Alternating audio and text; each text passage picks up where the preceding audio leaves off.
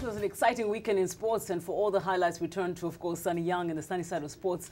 And I know, Sonny, it seems like marathons are now the same as saying a Kenyan is winning. They've had an incredible year, Dimmy. It's amazing. the Kenyans have done it again. Sporty greetings once again to all our In Focus viewers. Yes, the Kenyans have dominated the major marathons this year, and they ran to victory again in New York City.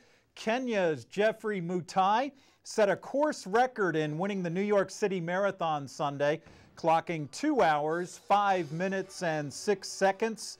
Mutai took more than two and a half minutes off the previous course record. It was the second big victory of the year for Geoffrey Mutai. In April, he won the Boston Marathon. There we see Geoffrey putting his arms up in victory. In the women's race in New York, Ethiopians Firehiwot Dado and Buzunesh Deba crossed the finish line 1-2. And in terms of the prize money in New York, the men's winner, Geoffrey Mutai, won $200,000 for that victory and course record. Turning to tennis, let me twirl my trusty Wilson racket for Roger Federer.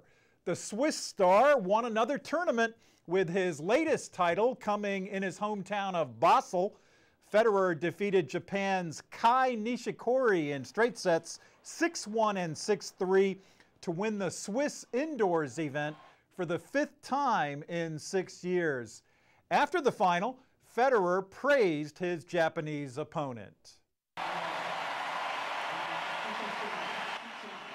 I knew that he has the game because I've practiced with him before. He's got enough power, he's got enough speed, and he'll be one of the you know the great talents you know to look for in the next few years. And that's why I'm very happy that the way I was able to play today, uh, from start to finish, uh, it was my the best match of the tournament so far, and obviously in the finals to save best for last is, is, is great.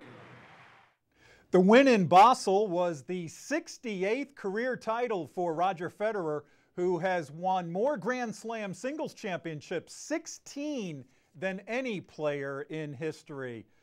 Finally, some sad sports news to report. Former World Heavyweight Boxing Champion Smokin' Joe Frazier is seriously ill with liver cancer. He was diagnosed four or five weeks ago and is under hospice care in Philadelphia, where he has a boxing gym. Smokin' Joe visited our VOA headquarters a few years ago, and one of my big thrills was getting a chance to meet Frazier.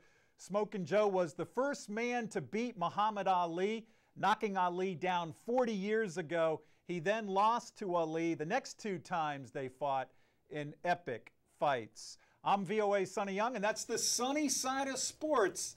Back to Demi. Thank you so much, Sonny, for the good and the bad news. We wish him well. Well, uh, as always, Sonny Young joins us every Monday and Friday here on In Focus, always with the latest sports news.